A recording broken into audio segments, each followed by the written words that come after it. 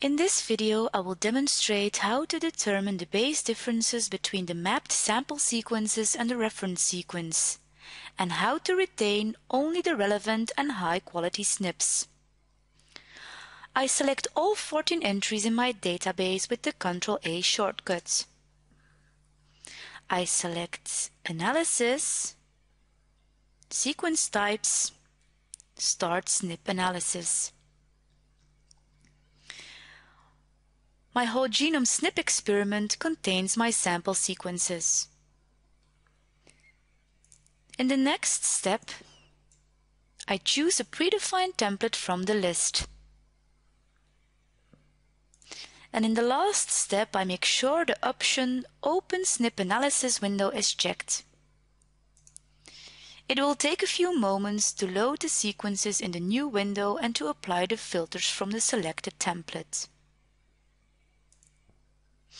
The SNP filtering window is divided into several panels.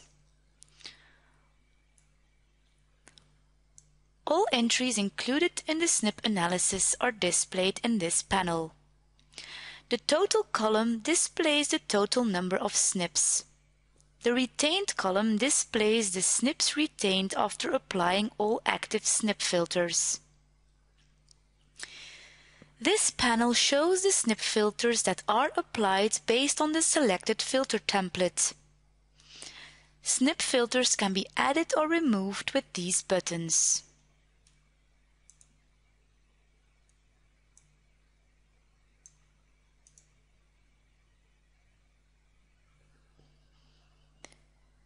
All positions where at least one SNP was detected are listed in the SNP Positions panel. Detailed information about the SNP selected in the SNP Positions panel is displayed in the panel below.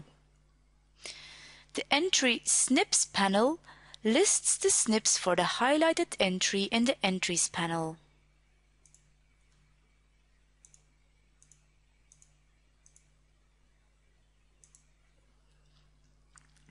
In the Genome panel, we can visually assess the effect of the active SNP filters. Zooming in on the circular graph can be done up to base level using the zoom slider.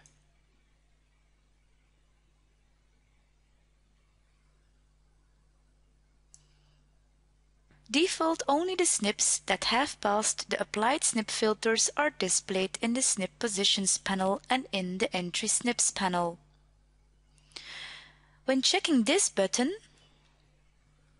the positions in both panels correspond to the total number of SNPs. To go back to the filtered view, I can click the button again.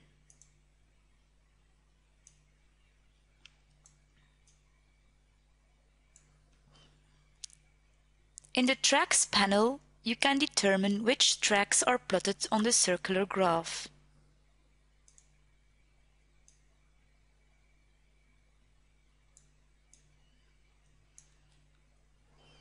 When I click on a position in the SNP Positions panel, the position is updated on the graph.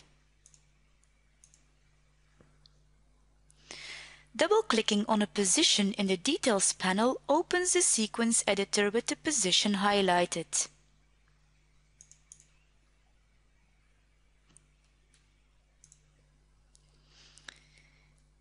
When I click on the SNP Matrix tab, the SNP matrix is displayed.